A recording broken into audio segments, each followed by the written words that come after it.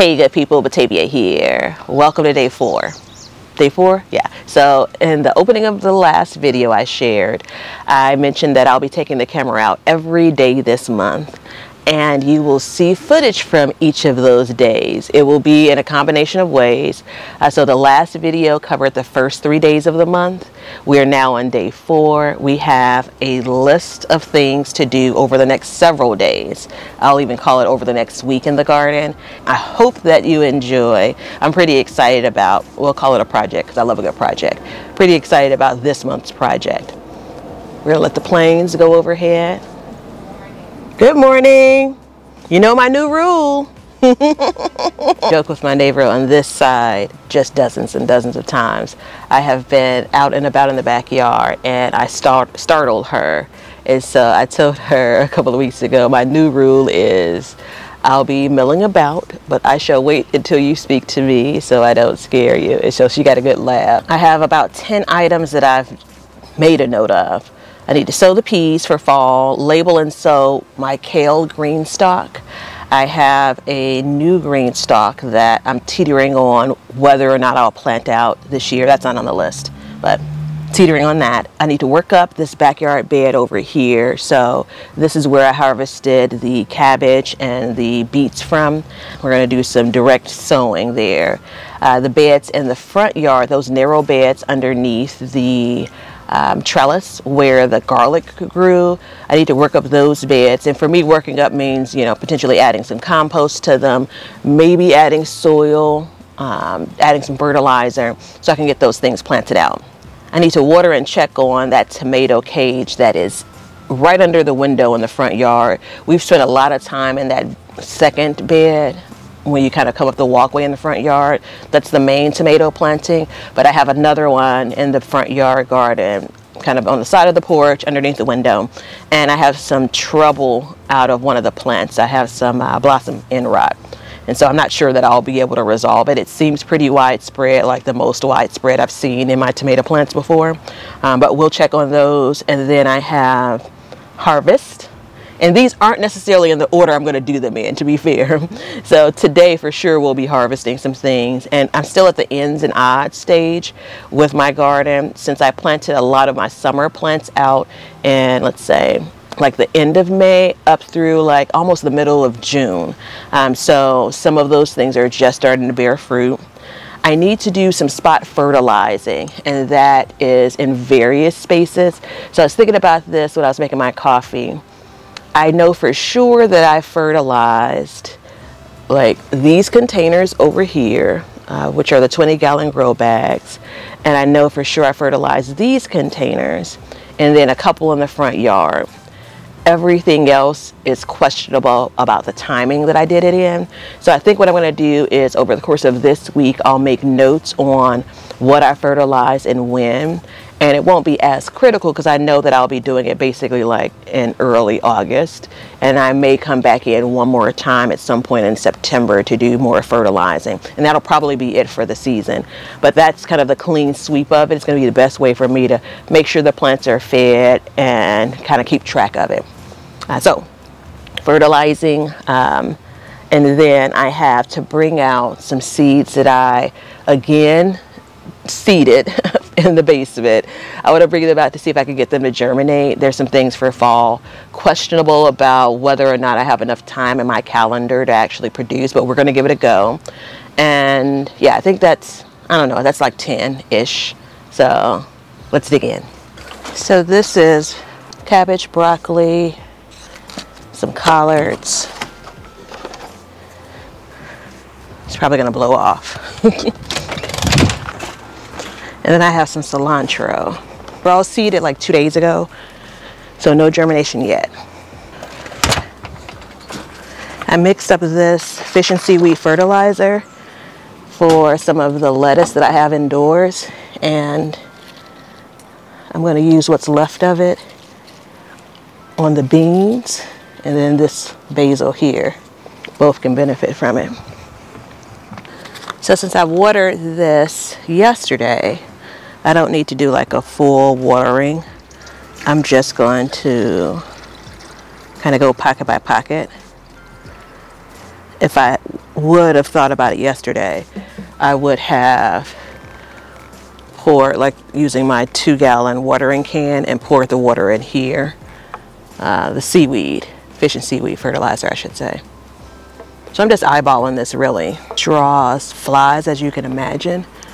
So I brought that basil over here too. I hope that I'll have an opportunity to sit down on my little patio area and enjoy some part of the day. And I'd rather not have flies joining me, at least not because of this.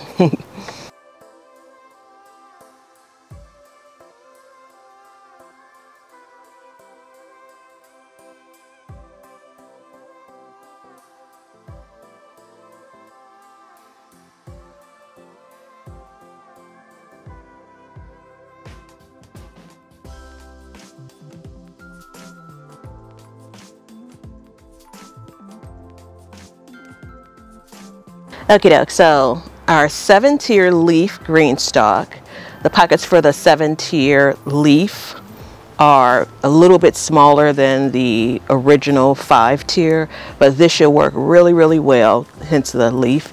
For the kale that I will be sowing, every tier will get a kale plant. I'm gonna do one plant per pocket. Westlander kale, Redbor, two packages of that. I have scarlet, which I'm to put, which is Redbor and uh, scarlet going to be purplish. Ah! if I could do a better job at organizing myself, the time I would save. I have been looking all over for the white, the white Russian kale. And I'm almost embarrassed to say that it is in my pile of kale that I plan on sowing it, you know. All right, so let's see.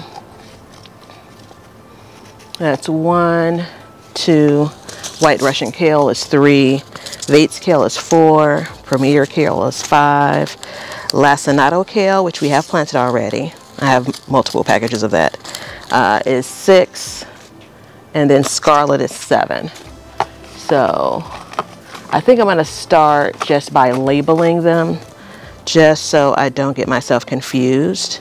So I'll label and then bring you back to chat as we sow them.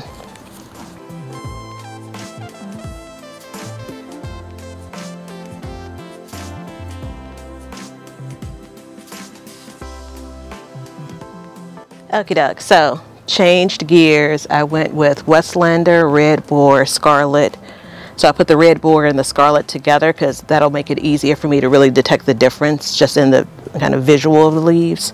And then Vates, White Russian, Premier, and then Dino at the end.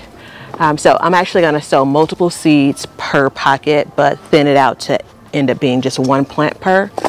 Um, since it's getting on in the season, I want to make sure that I have some good germination. And so to increase my chances of that, we're going to sub in something else because I don't have any Westlander kale seeds. it was just like a um, kind of curly-ish kale. So let's take that down. I have a few other varieties in the house that I'm actually going to stop and make sure that I want whatever other variety I'm to sub in to be up here. All right, be right back. Okay, doke. So I brought out the remainder of my kale packets. So blue curl scotch. I have red Russian kale, dwarf blue dwarf blue curled kale, Casper kale, which has a picture of the kale sitting on snow, thousand head kale, which is known to be super, super large uh, as far as the leaves. And then one more package of lacinato kale, which is the dino kale that I already have marked here. So I thought about it as I was sifting through them. I am curious about the blue curl Scott and the Casper kale. I've not actually grown those in my garden before, so I'm going to go with, for this top tier, the blue curled Scotch kale. We'll make that the plant here. Maybe we'll find space for the Casper kale somewhere else in the garden. So I have the plant support for the green stalk and I'm going to put those here And then I have insect netting because I still have plenty of sightings for the cabbage butterfly. And as these plants come up, I just don't want them to be gnawed away at. I actually, in my area, I find like the cabbage butterfly flies around all the way up until the point of frost, basically. So I don't get much reprieve from them. Uh, maybe there are fewer, but not quite sure. My method here, one label per tier because the tier has all the same variety. I'll start seeding with the pocket that has the tier, so when I come back around, I'll know I've already seeded that. This soil has been inside of these let's see, they've been inside of the planter for about maybe two weeks or something. And so I've watered it a few times, it's rained a few times. So I'm just doing a gentle fluffing of the soil. And for the seeds that I have plenty of, I'll do like three seeds in a small area. And I'm putting a fourth, about a fourth of an inch of soil on top. For example, this one I don't have that many seeds. So I'm gonna be stingy. I'll do I have enough to do two per pocket. And so as I sow them, I am just covering them up so I don't have to come back and do that. This is the one green stalk so far where I have mixed up my own soil mix. For the others, I've kind of in the initial planting, I put like kind of regular bagged soil. This one I made up my own using some spent potting soil and then um, compost, some perlite, and then some fertilizer. So that's already mixed in. And so they should be able to get off to a good start. I'll link the video where I go into detail about my container mix. There are a few different ways, depending on the material I have, that I will mix it up with. I'm trying to do them in the center of the pocket opening and closer to the edge, only because even though I'm sowing multiple seeds, I'm only going to let one live. Uh, I'll be thinning them otherwise, and I want them to kind of grow in the center. For other plantings, when I'm intentionally, like the beans, sowing multiple seeds and want to keep multiple plants, I'd spread them around a little bit more. Now for kale, given that you could harvest it at any size, I'm not as concerned about like if there is some poor germination, even with kind of the double and triple sowing of seeds, I can come back in and plug in some additional seeds where needed. We're still at the beginning of August and being able to plant these out or sow the seeds now will work out well as far as how much growth I'll have a chance to get off of these plants you know, before it gets super duper cold. And then kale is super cold tolerant. I have a frost cover too for the green stalk. So I could of course cover that, you know, the planter with the frost cover. But generally speaking, they should do fine, even uncovered as we get into November and even parts of December, I imagine. So we're all set. I'm going to sow these and get these watered well. We'll keep an eye on these for the next few days and look for them to germinate. I'll probably wait until that point to get them covered. Not sure yet. Or I probably should just go ahead and cover them, right?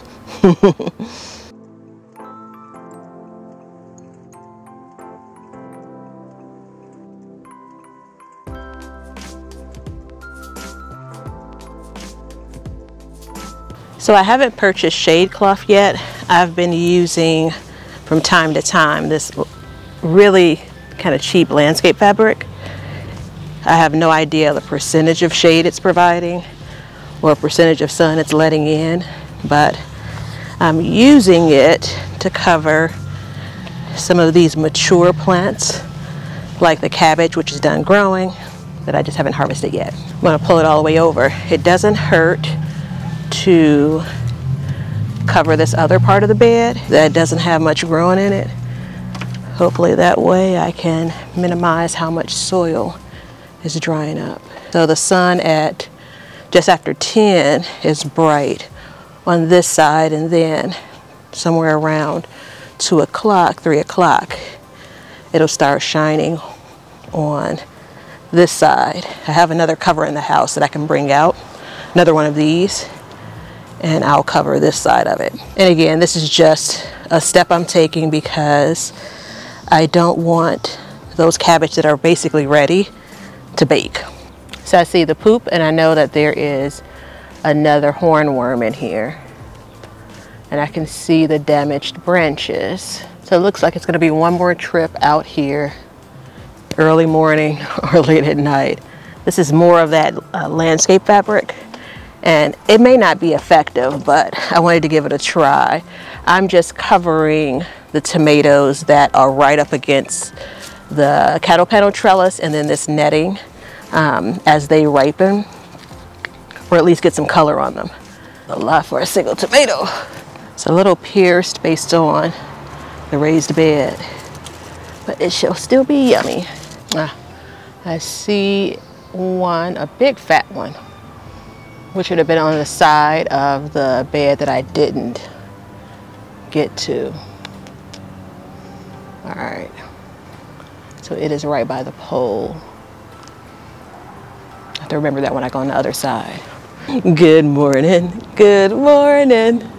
Welcome to day five. So it's going to be a quick morning. I have probably minutes, maybe up to an hour before it rains. I can hear the thunder and all of the kind of gray behind me. It's just that it's super cloudy. Um, but we're going to do things this morning that are most important just before rain. Now, it doesn't appear that it's going to rain all day. This could be just a quick, a quick, shower, which if it is, then that's great. I'll be able to get out back out here at some point, maybe during the day. uh, but I'm going to check on some things that need to be harvested that won't like the extra rain. I'm going to unfortunately put or fortunately put my tarp back on this bed because I still have those cabbage in there and you know, quiet as kept, I could go ahead and just harvest those since they keep so well, um, but not this morning. Um, so yeah, I'm gonna cover the bed with a tarp. We're gonna check on mostly tomatoes, uh, look at a couple of cucumbers if they're of size. They'll be fine in the rain, but I don't want them to get much larger for some of the pickling cucumbers. B, uh, we'll check on some beans. I want to get those picked. Again, they're coming in handfuls at a time um, before the rain. And if we have time, we'll sow some things. You know, we're going to swap out this fabric for the tarp. And I'm actually going to pull out those seed trays. And I have some lettuce that has some nice growth on it. Since there's so many clouds and so little sun, I'm going to pull them out and let them get some of this good rainwater. Checking on the last ears of the corn. So this is the lettuce that I started so far. Island was started on 625 and then outrageous red, super red romaine, little gem and tennis ball all of those were started on 7-9 so they're just under about 30 days old and so I'm going to leave these out here again to get some good rainwater and I'll pull the other seed trays out. I think I'm just going to set these like in the potato bed since there's not a lot growing in there uh, just to be able to give it a little bit of cover. Cover from the animals to be quite frank. Now remind me that's where I put them because I'll be walking around trying to figure out where. The first tray were the brassicas and this one is the cilantro. I took them inside last night. Maybe not that much room there.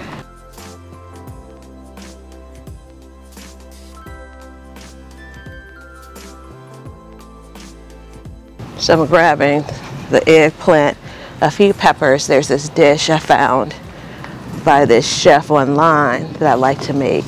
It's kind of like a fried pickle eggplant. And I keep forgetting to make it. So sometimes when you get just these few things, I will spray these with just a little bit of like avocado oil, like cooking spray, and put them in the air fryer for maybe four or five minutes and add them to any dish. I had that yesterday on some salad and adds, it still has a little bit of crunch at that time. Um, it's on whatever the veggie setting temperature is on mine.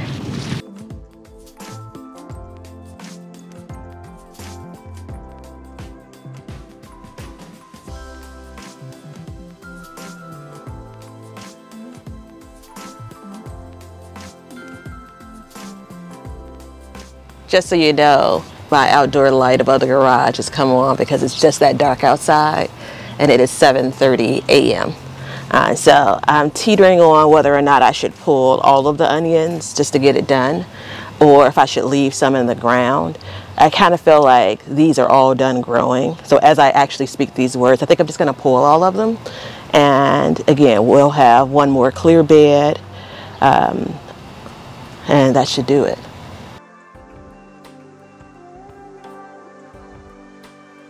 Okie doke, so that is the rain. I still have to pull these onions. We're gonna wrap up the video here. If you have any questions or comments, feel free to drop them below. If you haven't subscribed already, consider that too. Look forward to seeing y'all on the next one.